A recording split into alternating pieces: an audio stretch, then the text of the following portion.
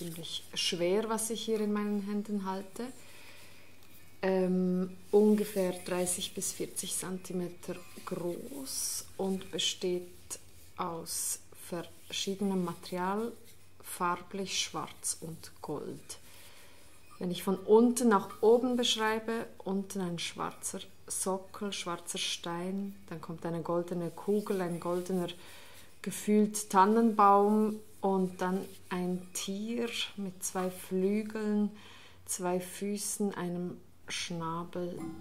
Fühlt es sich gut an, das in den Händen zu halten? Ein bisschen unangenehm und sperrig und ich wüsste jetzt nicht, was damit machen. Du könntest es zum Beispiel in die Luft strecken und eine Siegerpose einnehmen. Denn du hast in den Händen eine Trophäe, nämlich genauer gesagt den goldenen Pokal für das Skirennen de la Première Neige von Val d'Isère 1979. Gewonnen hat diese Trophäe Marie-Therese Nadig und über sie und ihr Verhältnis zu den Trophäen werden wir heute sprechen. Amüsbusch ein Gruß aus der Sammlung des Alpinen Museums der Schweiz. Ich bin Michelle Huwiler und hier am Alps, Alpines Museum, verantwortlich für die Sammlung und Sammlungsvermittlung. Ich bin Carmen Siegenthaler, auch am Alps verantwortlich für Veranstaltungen und Vermittlung. Michelle, du hast uns vorhin gesagt, mit was wir es hier zu tun haben.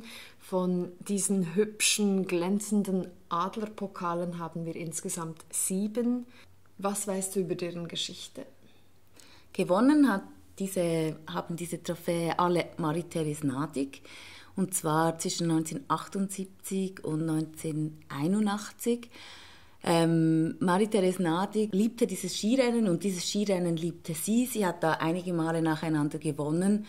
Und ähm, sie stehen auch so ein bisschen für die Dominanz, die Marie-Therese Nadig damals hatte im Skizirkus. Also in, gegen Ende ihrer Karriere hat sie wirklich alles gewonnen und die Saisons jeweils dominiert. Und sie war sozusagen der erste weibliche Skistar. Wenn wir gerade bei diesem Pokal bleiben oder beim Pokal allgemein. Ähm, ist das, was von Ihrer Karriere übrig bleibt? Ja, also wenn man Skirennen gewinnt, dann bekommt man jedes Mal eine Trophäe. Marie-Therese Nadig wusste auch nicht so recht, was sie damit anfangen soll.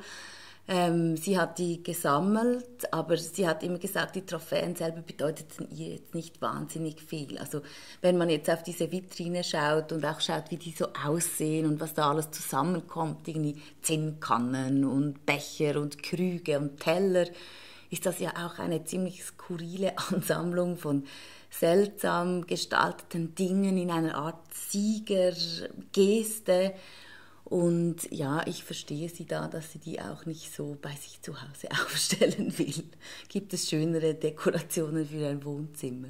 Da kann ich auch sehr mitgehen. Äh, wir stehen jetzt hier vor dieser Schaubox oder sehen diese Schaubox. Aber es war ein weiter Weg bis hierhin. Ähm, du hast sie ins Depot eingeladen und auch noch einen Weg davor. Magst du mir von diesem Weg oder der Geschichte erzählen? Sehr gerne. Also Marie-Therese Nadig stand so ein bisschen vor der Frage, ja, was mache ich mit all diesem Plunder?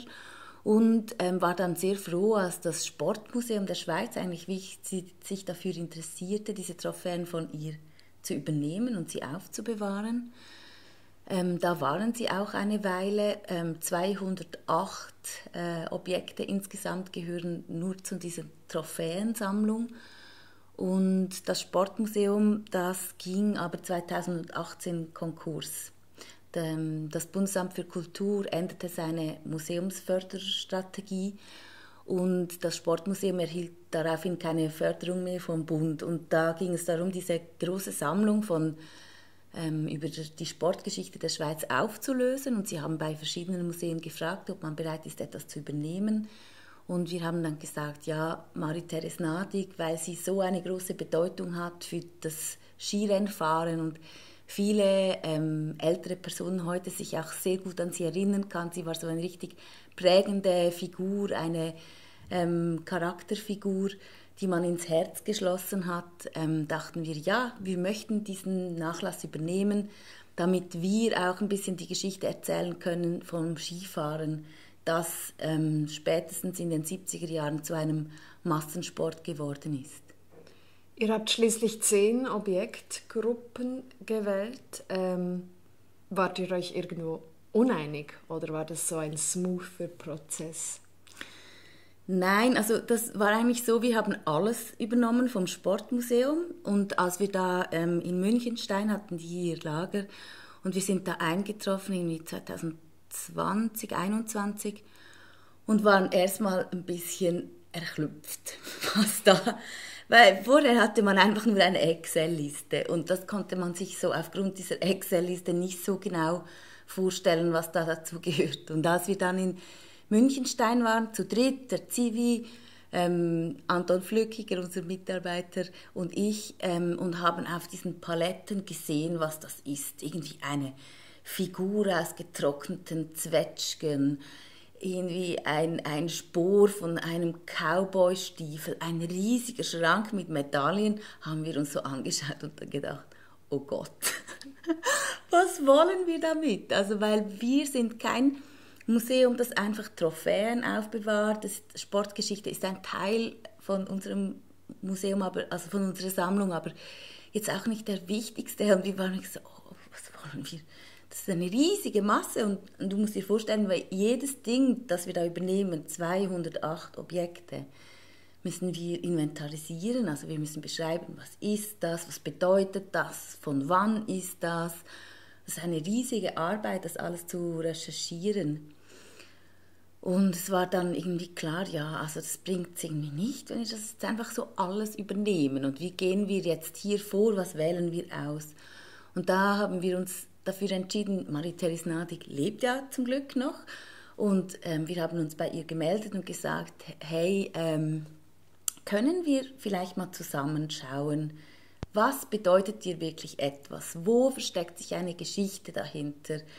Ähm, wo hast du so vielleicht ein bisschen dein Herz daran gebunden, weil alles, das können wir wirklich, das, das ist nicht sinnvoll zu übernehmen. Wenn ihr die Pokale so wenig bedeuten, hat sie euch alle Pokale gegeben? Sind die 208 alles, was sie hatte? Nein, das hat sich dann auch erst da eigentlich herausgestellt. Wir haben so die, die zwei Goldmedaillen. Also Marie-Therese Natig ist 1972 wirklich so eigentlich völlig aus dem Nichts mega berühmt geworden, weil sie als 17-Jährige zwei Goldmedaillen gewonnen hat an der Olympiade. Und das war eigentlich erst so der zweite Winter, in dem sie wirklich so ähm, professionell Ski gefahren ist, wenn man das für diese Zeit überhaupt schon so sagen kann. Und ähm, das war natürlich ähm, eine Riesensensation. Und ähm, diese zwei Goldmedaillen, die haben wir so vermisst unter dieser Sammlung. Und äh, es hat sich dann auch noch herausgestellt, dass sie diese zwei und eigentlich die große Kristallkugel, die für den Gesamtweltcup-Sieg 1981 steht, die beides sind nicht dabei in der Sammlung. Also ähm, es also gibt schon nicht materiell und dann doch irgendwo ein bisschen eine Geschichte oder vielleicht auch etwas Emotionales drangehängt. Ja, und das, also es geht ja auch ein bisschen zusammen. Es sind ja, äh, alle Leute wollen diese Gesamtweltcup-Kugel oder diese zwei Goldmedaillen sehen. Und dann ist es vielleicht selber schon auch so, aha, ja, das hat eine große Bedeutung und ähm, gibt man dann vielleicht ein bisschen weniger leicht aus der Hand. Ich möchte noch ein weiteres Objekt herauspicken und nämlich diese wunderhübsche Tannenzapfenfigur. Ähm, was ist deren Geschichte und wie würdest du sie beschreiben? Ja, die ist sicher so die schrägste Figur von all diesen Dingen, die wir jetzt aufgenommen haben. Sie steht ähm, stellvertretend für eine ganze Menge so Fangeschenke, die Marie-Therese Nadig erhalten hat. Ähm, wir dachten einfach, wir möchten eine davon aufnehmen, weil es wirklich irgendwie auch berührend ist und, und speziell, dass wirklich Fans ihr Dinge schenken und sie schenken ihr seltsame Dinge. Also das ist so eine Figur, die besteht aus zwei Tannenzapfen, die hat Haare, ein Kopftuch, also ein Partyschirmchen in der Hand. Also sie stellt so ein bisschen eine Oma dar und ich denke, man könnte sie in jedem Souvenir, so Souvenirmarkt, Touri-Souvenirmarkt in den 80er Jahren gekauft haben. Das ist eigentlich eine überhaupt nicht schöne, überhaupt nicht wertvolle Figur, aber irgendeine Person hat äh, gedacht, dass, dass sie Marie-Therese Nadig mit dieser eine Freude macht. Sie kann sich nicht mehr so genau erinnern, von wem sie die erhalten hat, aber sie kann sich auch an alle anderen Souvenirs, die sie von Fans erhalten hat, nicht genau erinnern, von wem sie die gekriegt hat. Und wir dachten einfach so, eines wäre noch hübsch zu haben. Du hast im Vorgespräch gesagt, du hättest die Rosinen ihrer Objekte gepickt. Was findest du, sind die Rosinen in Marie-Therese Nadigs Leben? Sie hat ähm, schon in den Treffen uns erzählt, dass die Sport, also dass der Sport ihr wahnsinnig wichtig war. Also sie ähm, wollte einfach als Kind immer Skifahren. Das war ihre Leidenschaft und damals konnte sie sich eigentlich gar noch nicht vorstellen, dass das wie ein Beruf sein kann, also dass man Profisportlerin sein kann Sie kann sich nicht erinnern, dass vor ihr schon eine Profi-Skirennfahrerin gab. Ähm, aber sie ist einfach ihrer Leidenschaft gefolgt und ähm, war dann 71 bis 81 zehn Jahre in diesem Skirennzirkus eigentlich auf der ganzen Welt unterwegs und sie sagt schon, die Siege haben ihr etwas bedeutet und der Sport allgemein, was man im Sport lernt, also dass man ein Ziel hat, das man konsequent verfolgt oder dass man auch so ein bisschen Durchhaltewillen zeigt, Teamgeist und so weiter. Das sind Dinge, die sie sagt, hat sie im Sport auch fürs Leben gelernt.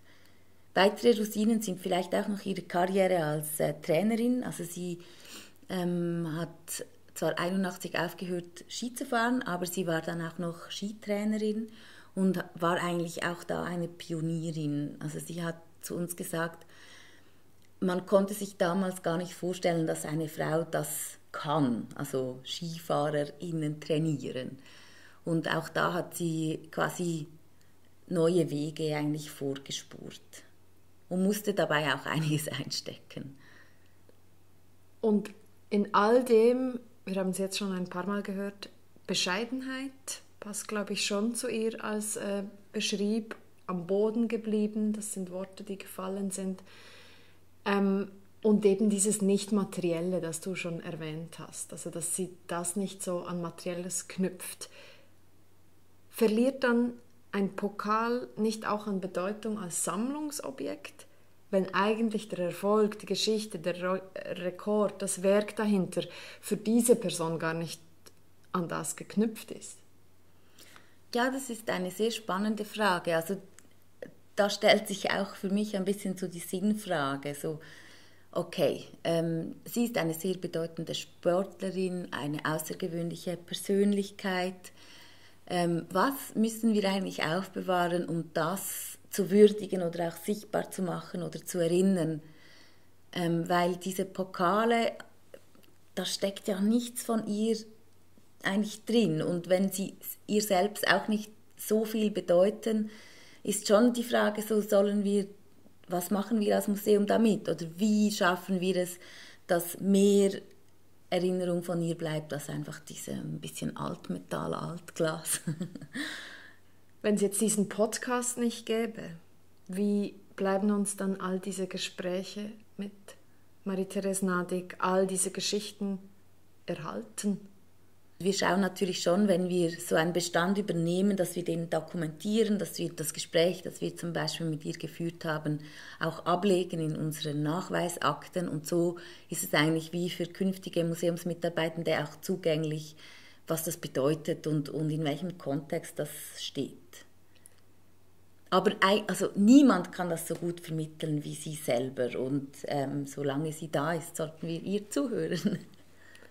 Wenn wir jetzt noch mal ein bisschen rauszoomen, auf die Schaubox schauen, auf die Pokale, die nun uns gehören als Alps, ähm, diese Melange an Trophäen, was sagt jetzt diese Schaubox aus?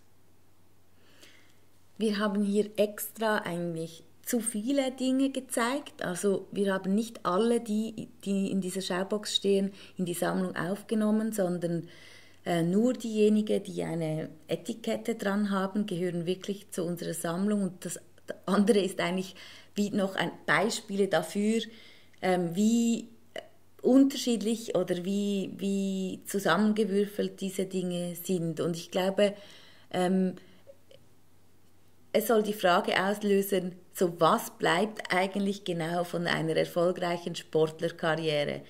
Ähm, sind es diese Dinge, die diese Siege und diese, ähm, diesen Erfolg würdigen?